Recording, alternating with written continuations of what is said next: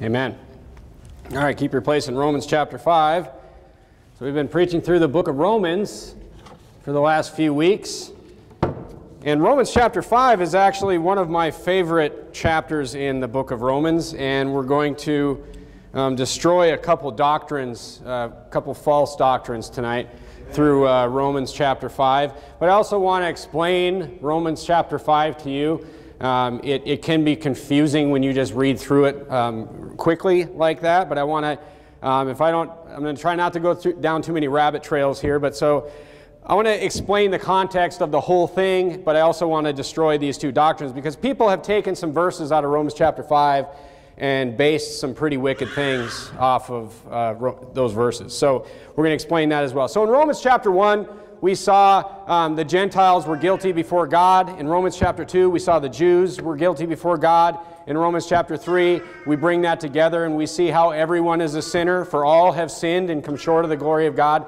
In Romans chapter 4, we looked at, you know, then in Romans chapter 3, kind of wraps it up and it's, it's, you know, we're saved by grace, by faith, and not of works. And then we looked in Romans chapter 4 last week at how our faith is the same faith that Abraham had. So the gospel is the same in the Old Testament as it is in the New Testament. So there's no um, dispensations of people getting saved different ways throughout history. We're all saved the same way by belief in the Lord Jesus Christ. Okay? Now, Romans chapter 5, let's just go ahead and get started. Let's look down at number, verse number 1.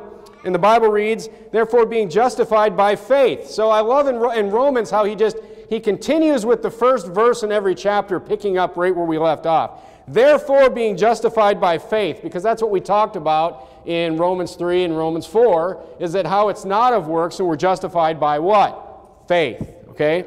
We have peace with God through our Lord Jesus Christ, by whom also you have access by what? Faith into this grace wherein we stand and rejoice in the hope of the glory of God.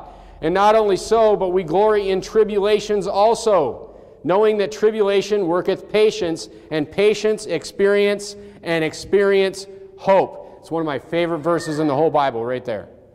Okay? Now, notice how Paul says we glory in tribulations.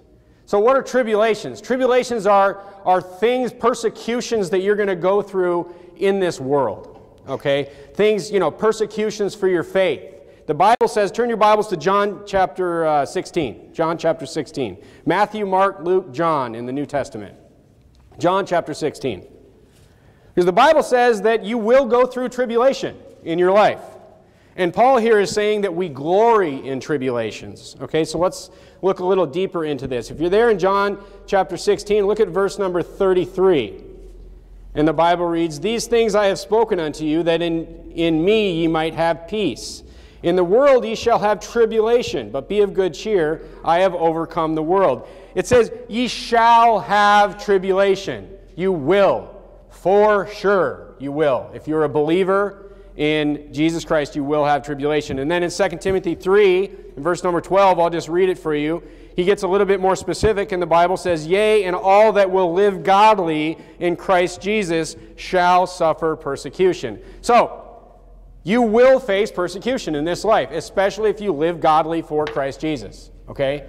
And the reason for this is as you start to change, as you get saved and you live godly and you start, you know, changing your life and going to church and listening to the, what the Bible says and reading, you know, that's going to make people mad. And you're going to and you wouldn't think it would, but you're going to you're going to realize that it that it's going to. All right?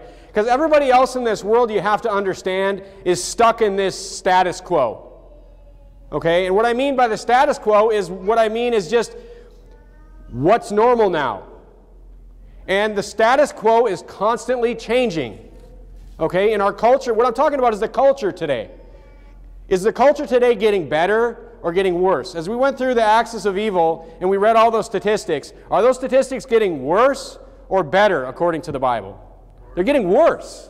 I mean, people are getting more and more immoral. And the, the sad fact is that the people that you know that aren't saved, they're just following that status quo down that hill.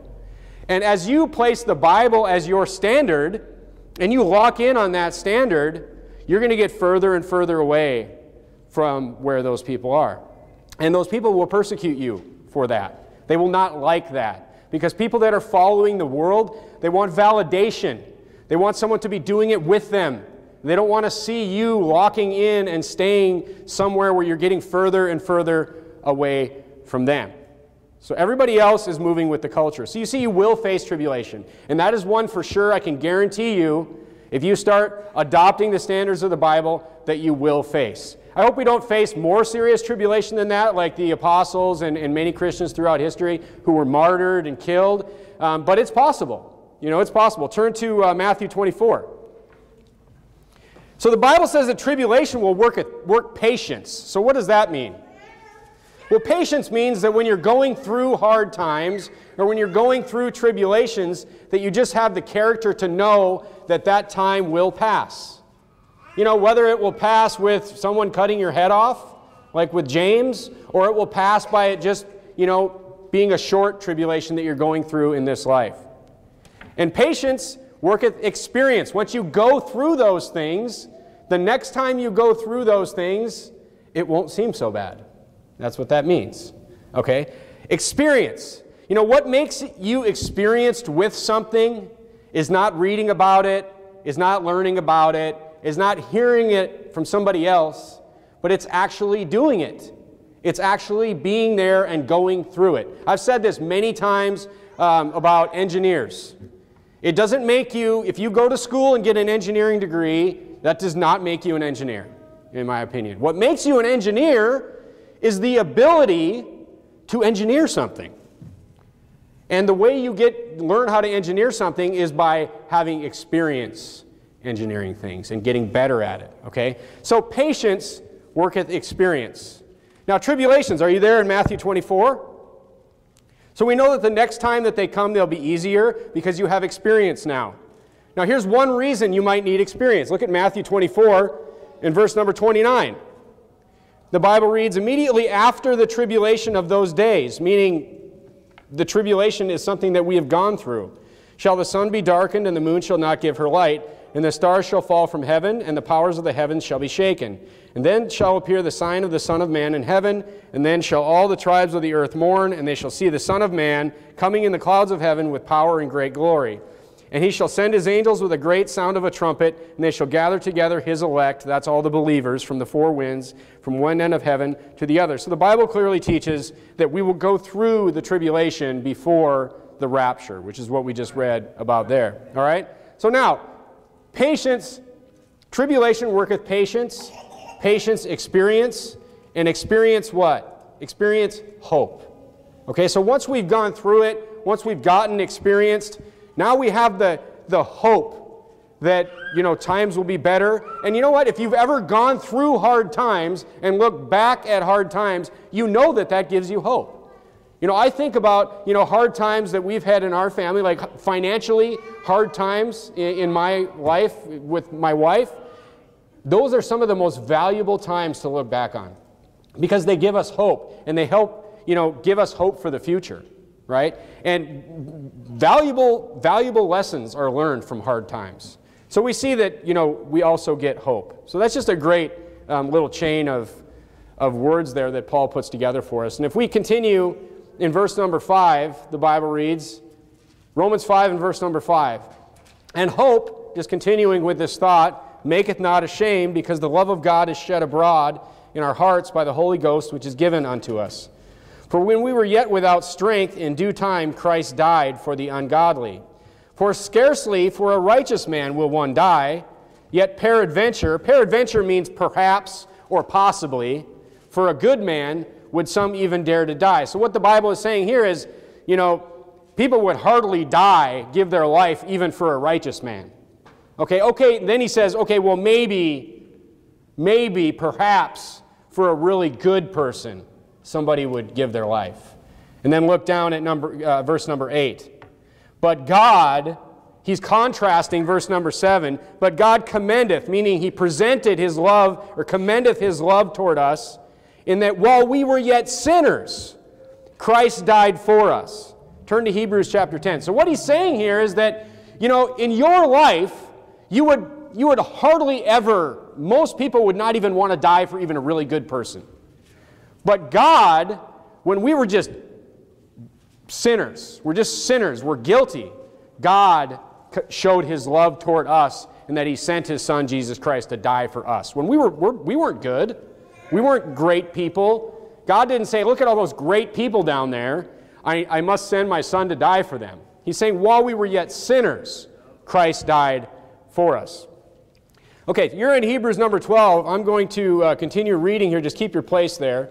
In verse number 9, the Bible says, Much more than being now justified by his blood, we shall be saved from wrath through him. For if when we were enemies we were reconciled to God by the death of his Son, much more being reconciled, we shall be saved by his life.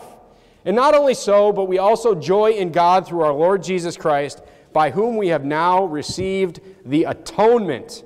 Now, the word atonement, we've received this atonement. The word atonement means uh, a reparation for a wrongdoing. So it says we've received this atonement through Jesus Christ. The word atonement is so. Um, it, I, when you actually look up the definition in the dictionary of atonement, it actually says one of the meanings is reconciliation to God through Jesus Christ. That's how powerful that word has become in our, um, in our, in our vocabulary. So we see that we've received this atonement. Now, you see how we've received, we've been justified by his blood and we've received this atonement. I'm going to read for you Leviticus 16, verses 15 through 16. And this is describing the Day of Atonement in the Old Testament. And the Bible says this it describes what happens in the Day of Atonement. And the Bible says this is the priest, he goes into the Holy of Holies. And then the Bible says, Then shall he kill the goat of the sin offering that is for the people, and bring his blood within the veil and do with that blood as he did with the blood of the bullock, and sprinkle it upon the mercy seat and before the mercy seat. So before this, he had killed a bullock for himself, the priest, and then he had two goats, and he killed one um, for the sin offering, and he let one go for the scapegoat. Okay, and that's picturing uh, Barabbas being let go. And in verse number 16, he says, And he shall make an atonement for the holy place because of the uncleanness of the children of Israel, and because of their transgressions and all their sins, and so shall he do it for the tabernacle of the congregation that remaineth among them in the midst of their uncleanness. So you see that there is this once a year um, a sacrifice that the priest would do for the people. It was a sin offering for the people. So what was it for? Look down at Hebrews um, chapter 10 in verse number 1. And the Bible says this For the law having a shadow of good things to come, you see that it says it's a shadow of good things to come and not the very image of the things, can never, with those sacrifices which they offered year by year, continually make the comers thereunto perfect. So he's saying the sacrifice that the priest did would not make the people perfect. It could never do that. All right? For then would they not have ceased to be offered? Because that the worshippers once purged should have had no more conscience of sin. Now just remember that. And let's look at verses 3 and 4. But in those sacrifices there is a remembrance again made of sins every year. For it is not possible that the blood of bulls and goats should take away sins. So, what was the point? So, the, the, he was going and sacrificing this bull and these goats, and it's not possible that those, those sacrifices should take away sins. So, what's the point? The point is in verse number 1 where it says, It's a shadow of good things to come. So, those good things to come, it was just it was a shadow of the coming Christ. That's what it was. And the beautiful thing about this, if you look at verse number two, where it says, because if they did take away sins, what verse number two means is that they would have only had to do it once. Because if, the, if killing the goat took away your sins, see, because God is not down with work salvation. He, he, he never is. This is eternal security right here. So he's saying that if the blood of the bulls and the goats in the Old Testament would have actually cleansed the people of their sin, you would have only had to do it one time. That's why Jesus only had to come, because Jesus' blood did cleanse us of our sin. It's the, it's the main event that these things were just symbolizing. They were a shadow of, of what was to come. Okay? You see, those people in the Old Testament, they had faith in what was to come. And this sacrifice was just showing what was to come, which was the real sacrifice of Jesus Christ and the atonement and the justification through his blood. Okay? Now, look at Hebrews chapter 9, just one chapter back. And we'll see the importance of the blood here as well. in Hebrews chapter 9 and verse 22, the Bible reads, And almost all things are by the law purged with blood. And without shedding of blood, there is no remission. So Christ was, and then if you just jump down to verse 28 for uh, sake of time, the Bible says, So Christ was once offered, once, to bear the sins of many, and unto them that look for him shall he appear the second time without sin unto salvation. Just one time. That's it. So the blood of Christ was good enough to just cleanse us one time. That's eternal security right there. All right, now look at, um, we're going to kind of change gears here in verse number 12, Romans 5, verse number 12. And we're going to hit the first heresy right here. So let's first read verse number uh, 5 and verse, Romans 5 and verse number 12, I'm sorry, where the Bible says this Wherefore, as by one man sin entered into the world, and death by sin, and so death passed among, upon all men, for that all have sinned.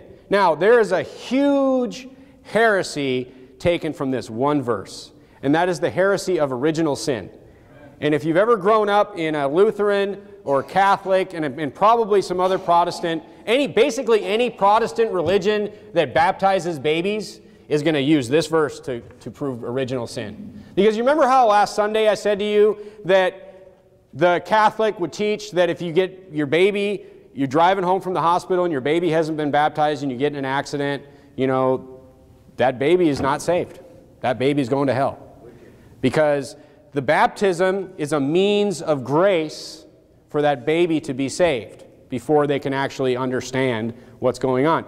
Well, they use original sin, and the original sin is this that they use verse number 12 to say that basically we are all guilty of Adam's sin.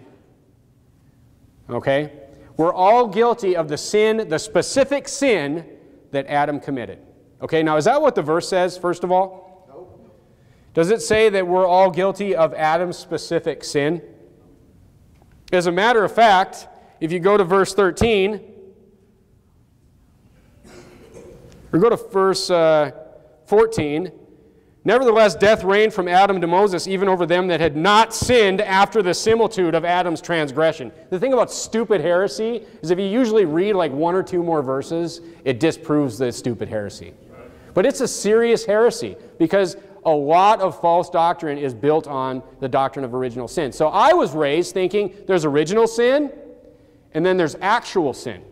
Those were the two sins. It, the original sin is the sin that, you know, I'm just guilty of when I was born because of what Adam did. I'm guilty of that sin. And actual sin is the sins I actually commit. Okay? Now, all right, where am I at here?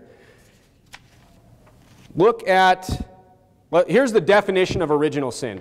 Original sin may be taken to mean that the sin that Adam committed, a consequence of this first sin, the hereditary stain with which we are born on account of our origin or descent from Adam, that we are all made direct sinners being guilty of Adam's specific sin. Now go to Deuteronomy chapter 24 and let's disprove this very quickly.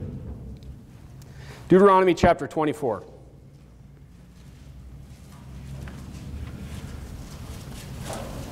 Deuteronomy chapter 24.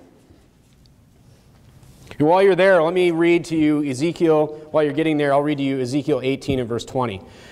The soul that sinneth, it shall die. The son shall not bear the iniquity of the father, neither shall the father bear the iniquity of the son. The righteousness of the righteous shall be upon him, and the wickedness of the wicked shall be upon him. Is that confusing? No. Right? There's some confusing things in the Bible. That is not one of them. Look at Deuteronomy 24 and verse 16. And we'll, there's another confusing verse. Deuteronomy 24 and verse 16 The father shall not be put to death for the children, neither shall the children be put to death for the fathers. Every man shall be put to death for his own sin. That's confusing, right? No, that's very simple. So, what's our Bible reading rule, right? When you, you always base doctrine on clear scriptures. So, if you're reading the Bible somewhere, and first of all, you would never come up with original sin on your own. You just never would. A saved person reading the Bible would never be like, oh, I'm guilty of eating the apple. it, it doesn't even make any sense. right? So you always base your doctrine on clear scripture. So when you read something confusing that could have two or three or four meanings, but you have clear scripture that say it's not of works, lest any man should boast, you go with clear scripture, folks. If you, you you're, you're interpreting it wrong if it goes against clear scripture, okay? Now, you can't be cursed.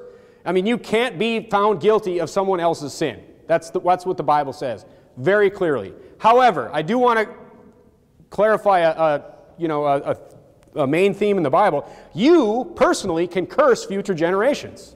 Yeah. All right? And the Bible clearly teaches this, okay? And I'm going to separate these two for you. Turn to 1 Kings, and we're going to look at this, all right? There's a difference between being put to death for a specific sin and cursing um, another generation. We're going to look at the sins of Jeroboam. Okay? Look at 1 Kings in chapter 15. And we'll look at how someone cursed future generations. Okay? And we'll look at how it fits in with um, what the Bible said in Deuteronomy chapter 24. In 1 Kings 15 and verse 33, the Bible reads, In the third year of Asa, king of Judah, began Baasha, the son of Ahijah, to reign over all Israel in Tirzah 20 and four years. And he did evil in the sight of the Lord, and walked in the way of Jeroboam, and in his sin wherein he made Israel to sin. So you're going to see many kings where the Bible says he made Israel to sin. And then he walked in the ways of Jeroboam. But what is he guilty of? He's guilty of, in verse number 34, he did evil. He's guilty of the evil that he personally did. Now, you can see this if you just look at somebody who grew up in a house whose dad was a raging alcoholic. There's, there's a very like, great chance that, that the kids in that house are going to have problems with drinking. Because they're cursed with that sin. They've been brought up with that sin. Jeroboam made Israel to sin because he was the leader of that nation and he was worshiping false gods. He put up idols, he was worshiping false gods, and the people of Israel came with him and worshiped those false gods too. But those people in that nation were guilty because they did it personally. Okay? You can't miss that. There's a very clear distinction there. Okay?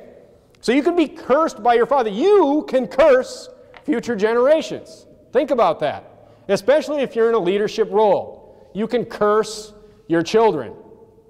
Think about divorce.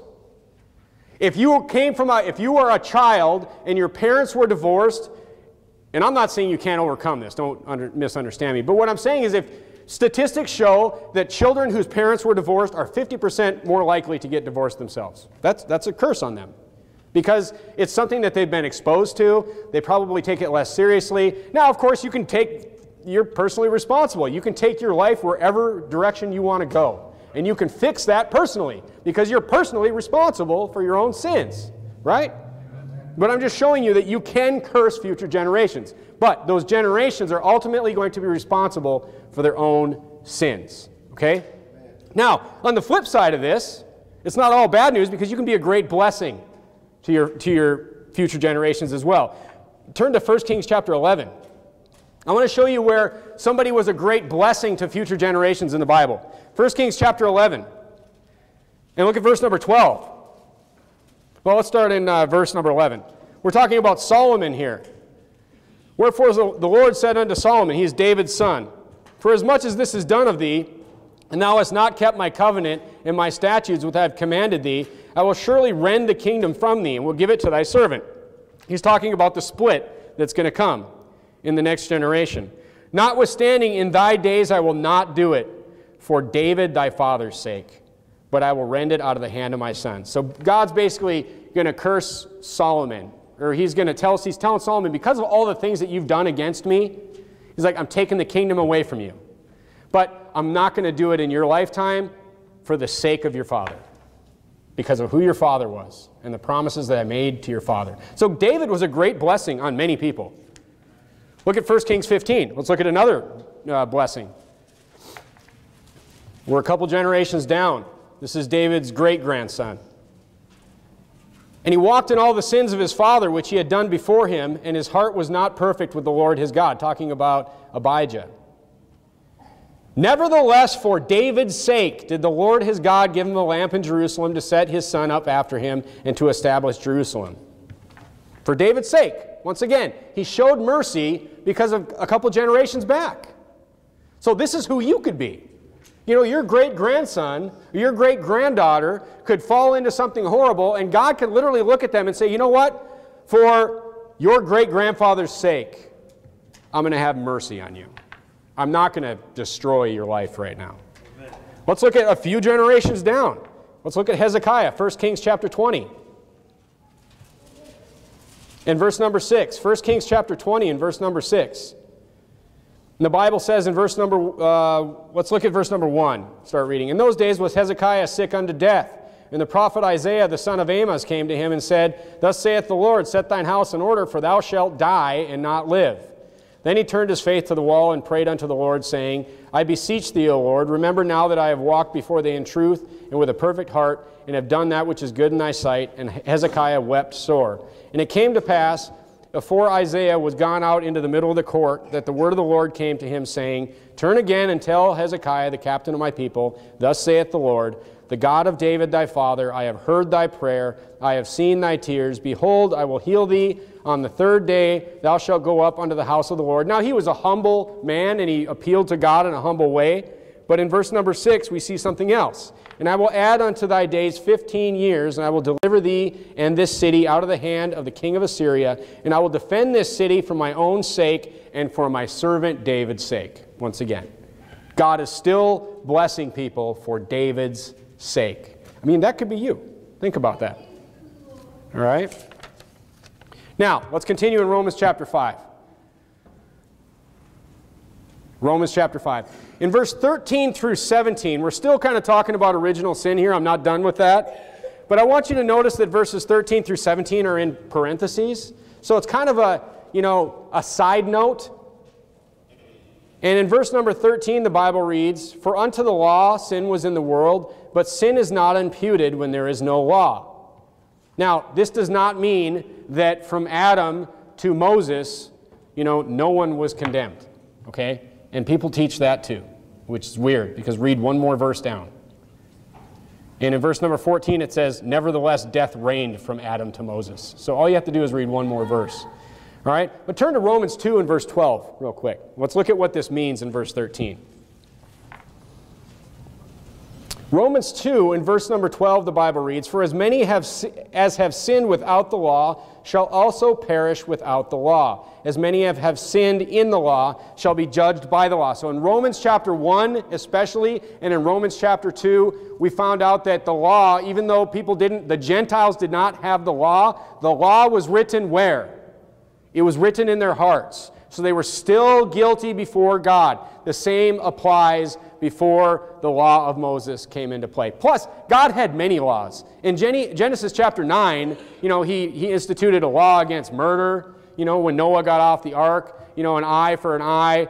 And, you know, God had many laws. It's not like there was not any law at all, but the law was always written in our heart. But what Romans 13, Romans chapter 5 and verse 13 is really getting at is that for when it says, For unto the law sin was in the world, but sin is not imputed when there is no law, Turn to Romans chapter 7 and verse number 9. And I'll explain that to you. In Romans chapter 7 and verse number 9, the Bible says, But sin taking occasion by the commandment wrought in me all manner of con concupiscence, for without, which is lust. For without the law, sin was dead. For I was alive without the law once. Now, when is the only time in your life when you were unaware of the law? Amen. Amen. Is when you're young, a young child that's too, too young to understand the law of God. Now, children will do wrong things all the time, from the time that they're born till the time they're, you know, whenever, right? Depending on how much you spank them. But the bottom line is, children are born with a sin nature. That is what the Bible teaches. We've inherited a sinful nature from Adam. We, we are not guilty of his specific sin. We, we inherited a sin nature. So children just automatically would be born, and from the time that they're one, two years old, they'll just be doing things wrong. They'll just be, you know, messing things up, and you know, then when they're two or three, they're gonna, you know, they're gonna lie to you. Did you take the cookie? No, I didn't take the cookie. You know, and all that kind of stuff. It's, just, it's in their nature. They have a sin nature, but they don't understand the law. So the law, sin is not imputed to them. That's what the Bible clearly teaches. Now, look at what it says in, uh, it continues. For I was alive without the law once, when I was a young child. But when the commandment came, sin revived and I died. When I understood the commandments and the Bible and the law even written in my heart, if no one taught me the Bible, and I knew that it's wrong to do things, that's when I became guilty. See? That's the age of accountability right here in the Bible. And you will notice this with children. You will notice uh, my children, they, it, they will come to you when they're six, seven years old, and they'll start asking you questions. Um, am I am I going to heaven? Because I'm I'm a sinner. I do bad things, and they'll start asking these questions when they hear um, the Word of God in church, as they sit in this church and they sit and they hear the Word of God. They will start asking you questions about how to be saved because they know that they're guilty. That, that awareness, you can, you can just see it flow into them at certain ages. And it, you know, there's no specific age for you know, any one kid, but you know, if, if they're 18 and they haven't figured it out, you know, it's probably a problem because you can definitely understand. Now, but the law, when the commandment came, sin revived, and I died. And the commandment, which was ordained to life, I found to be unto death. For sin, taking occasion by the commandment, deceived me, and by it slew me. So it's the law that drives us to the need for salvation. Amen. You see? Okay. Go back to um, verse number 14, Romans 5 and verse number 14. And the Bible reads, Nevertheless, death reigned from Adam to Moses, even over them that had not sinned after the similitude of Adam's transgression. So it's saying, it just, it just sums it all up right there. It says death reigned from Adam to Moses, even though they didn't sin the same way that Adam did. It's like because they had the law written in their hearts, and God did have rules. God had laws. Who is the figure of him, him to come? And that means, you know, Jesus is called the second Adam, and we'll see that in a few more verses. So just because men didn't sin the same way Adam did, but they still sinned, and they still broke the law that was written in their heart, even before the law of Moses came in. So there's original sin. Is completely heretical, used to justify baptizing babies. And, you know, I've even heard pastors say that aborted babies go to hell. I mean, what kind of wicked teaching is that? It's crazy. So you just have to, you know, you have to, we'll talk about this at the end, but you have to kind of like recognize these things that the law is written in your heart, and you don't have to have the Bible memorized to know when something just doesn't sound right. You know? Okay, verse number 15. But not as the offense, so also is the free gift. For if through, I mean, how many times does the Bible have to say that it's a free gift and not of works, right? I mean, it's just, it's like the dozen, it's more than a dozen times already in just Romans. But not as the offense, so also is the free gift. For if through the offense of one many be dead, much more the grace of God and the gift by grace, which is by one man, Jesus Christ, hath abounded unto many. So it's by one man, Adam, we all inherited this sinful nature through one man, Jesus Christ, we're all freed, is the free gift. Okay, in 1 Corinthians 15, go ahead and turn there. We see this again. 1 Corinthians 15, look at verse number 21. And the Bible reiterates this where it says, For since by man, since by man came death, by man came also the resurrection of the dead. For as in Adam all die, even so in Christ shall all be made alive. It's great. All right, Romans 5 and verse number 16. And not as it was by one that sinned, so is the gift. For the judgment was by one to condemnation, but the free gift is of many offenses unto justification. For if by one man's offense death reigned by one, much more they received abundance of grace of the gift of righteousness shall reign in the life by one Jesus Christ. End of parentheses. So, once again, just we're freed by one man, Jesus Christ. And by the way, so original sin, we, you know, we debunk that, but we've inherited this sin nature from Adam. And the Bible teaches that you inherit your sin nature from your father. From Adam is our father. You notice how the Bible said in 1 Kings it said Hezekiah, David's father. The Bible will always, you know, it'll reference father even if it's your great, great, great, great, great grandfather at many times. But our father Adam is who we've inherited our sinful nature from, our sinful flesh. Now, this is why Jesus had to be born of a virgin, by the way. because he did not inherit that from Adam because God was his father. You see? You see how perfect it all fits together? All right. Let's look at, uh, we're out of the parentheses. Let's, let's bust up another uh, heresy here Calvinism, which is, I, I didn't grow up around any Calvinists, but it's one of the stupidest teachings I've ever heard. I mean, like, you, you can't be an intelligent person and believe Calvinism because the, the Bible is, like, like, is this, here's another confusing verse. Therefore, as by the offense of one, judgment came upon all men. Notice all men to condemnation, even so by the righteousness of one, the free gift came upon a chosen few. Is that what it says? even so by the righteousness of one, the free gift came upon all men unto justification of life. I mean, this isn't hard to understand. Turn to 1 Timothy chapter uh, 2. 1 Timothy chapter 2. The Bible teaches clearly that God wants everyone to be saved. If it was up to God, if it was up to the will of God, no one would go to hell. No one. It's not his fault. Okay? If it was up to the will of God, let's look at the will of God. Look at 1 Timothy chapter 2. And verse number, let's start in verse 3. For this good and accept, this is good and acceptable in the sight of God our Savior, who will have, that means he wills, have all men to be saved and to come unto the knowledge of the truth. God wills that all men are saved. He would, he would like that. That's his will. Turn to 1 Peter chapter 3. If you don't believe me, we'll look at another one. We'll look at the flip side of this and how many people God wants to go to hell. Oh, but God, you know, he, you know, how many people does God really want to go to hell? 2 Peter chapter 3, look at verse number 9.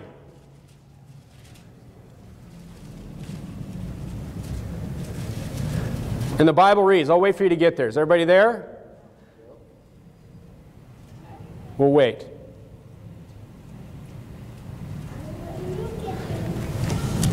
God would love it if we all would just accept the free gift and, and, and go to heaven. Amen. I mean, how hard is it to accept a free gift? You know what I mean? I mean, how hard is that? 2 Peter chapter 3 and verse number 9. The Lord is not slack concerning his promise, as some men count slackness, but is long suffering to usward, not willing that any should perish. That means any go to hell. He's not willing, he's not wanting that any should perish, but that all should come to repentance. Repentance meaning turning to Jesus, belief in Jesus Christ. Okay? God is, if everyone would just be like, I, I just, I want to just turn from whatever I believe and just believe on the Lord Jesus Christ, God would be all for that. Right. But unfortunately, you know, not all will take the gift. We see that every Saturday and every Sunday. We're like, here's a free gift. Do you want it? Nope, cooking ramen noodles. People don't want it. You know, people are wrapped up in this world. I mean, insert any stupid reason. You know, whatever. They're too busy. They don't care. They hate God. It's not God's fault that people turned on him, became evil, became wicked, and he gave them over to a reprobate mind. He didn't start the fight, but you're dead sure he's going to finish it. So it's not his fault. Look, he, he's the one. He gave a way out. He paid the whole thing with his son. Imagine one of your kids. Imagine seeing one of your kids beaten and tortured and killed and then burned in hell for three days. Imagine that. He gave one guy, one guy was out soul winning, and he's sitting in his lawn chair, and he's like, he's drinking a beer, and he's like, What's God ever done with me? And I'm like, Let me tell you what God's done for you. You better listen. And I told him what God's done for him. And he's like, Oh, you know, maybe he gave him something to think about because you think you've just, you know, he, first of all, he gave you this life so you could waste it, sitting there drinking a beer, you know, uh, uh, just wasting your life in drunkenness. You know, I mean, he gives you this, everybody gets a life, right? Everybody gets a life, and they just, he's just wasting it. And then he gave his only son, who was beaten and tortured and killed and took the punishment for your sin, fool, and then he offers it to you as a, as a free gift and you don't even want it. Is that God's fault? No. Nobody's, nobody has an excuse here, folks. I mean, nobody has any kind of excuse. I mean, what more do you want? He paid the whole thing. He's not asking you for a dollar. Just believe. I did it all. Just believe it. That's it. All right, Romans 5:19.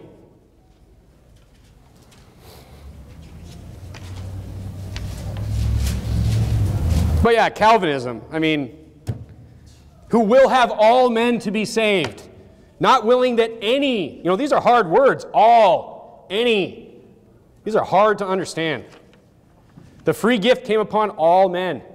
It's crazy. I mean, how, how it's arrogant, I think, maybe is where it comes from. Maybe it comes from a place of uh, pride, is where I think it comes from. All right, look at verse number 20.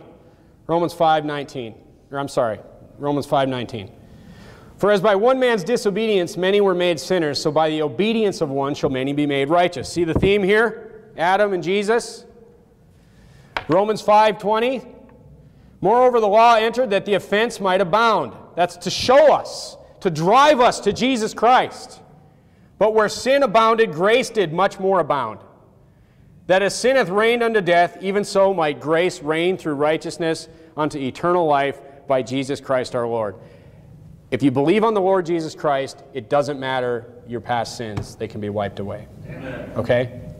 Because grace will abound even more. Okay? Now, let me just say this about original sin and Calvinism. Turn to, to Malachi, the last book in the Old Testament.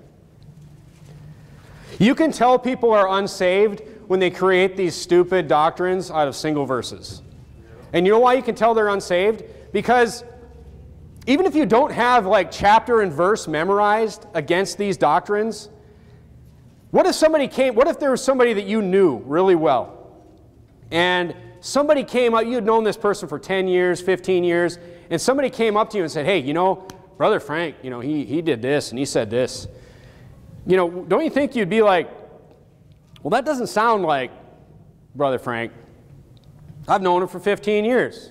He wouldn't have done something like that, right? That's how the Bible should be to us. That's, what, that's the importance of getting to know the Word of God. Okay? So when somebody says something, you don't have to have the book memorized, folks. But when somebody says something that is contrary, because these themes are throughout the entire Bible. Look at Malachi chapter 3 and verse number 6. For I am the Lord, I change not the God of the Old Testament, God's personality, his, his how he feels about sins, it's the same through this whole book. This idea that there's a New Testament God that's really nice and is the Jesus that's holding the sheep with the cane. And then there's Old Testament God who's a meanie head. He's mean. He's mean to people. He kills all those people all the time. It's weird. You know, it's the same God. Je sheep Jesus doesn't exist. Sheep Jesus, he's fake. He's made up by liberal Christianity today. It's a bunch of garbage. So as you learn the Bible, you're starting, you're going to start to get to know God. And as your kids grow up in a Bible preaching church, they're going to start to get to know God. So when somebody comes up to them with a picture of Jesus with the sheep and long hair, they're going to be like, whoa, that's weird. Get that away from me. You know? Or they start teaching these weird doctrines like Calvinism and that suck a lot of people in. They're going to be like, you know, that just doesn't sound like the God that I know. And then they'll look into it and the Bible will show them that it's not the God that they know. Right? Look, God wants everyone to be saved. Some he'll, have, he'll give up, he'll turn over. But it's not his fault that this world is, is, is producing evil people, that people are following this status quo down into the gutter, deeper and deeper and deeper, and they're dragging their children and the further generations with them. It's not God's fault that that happens. And original sin is just, it's something a saved person wouldn't get by just reading the Bible. It, it doesn't even sound right. So, folks, we just need to know the Bible. Okay? You need to be reading. You know, the Bible says in Acts 17 that the people in Berea, they, they searched the scriptures daily. You know, you need, to be, you need to take some personal responsibility with getting to know your Bible. That's, that's the application that I'm going to give you tonight. All right? In, in Romans chapter 5, you know, we saw that there's some verses that are pulled out of context, but we see that we've inherited this sin nature from Adam. You know, we see that because of what the Bible really teaches is that we've inherited this sin nature and that by one man, by one man, we were all condemned by in that we're all inherited that sin nature, but by one man we were freed from it. Amen. And that one man is Jesus Christ. Let's bow our heads and have a word of prayer. Dear Heavenly Father, we thank you for the book of Romans. We thank you for um, this deep doctrine, Lord, that just disproves, you know, all this stupid stuff that people teach. And we, we just thank you for the truth of your word, Lord. Lord, I thank you for these people. I thank you for this church. I ask that you bless the rest of our week, bless the soul winning this weekend, um, church, and the fellowship to come. In Jesus' name I pray. Amen.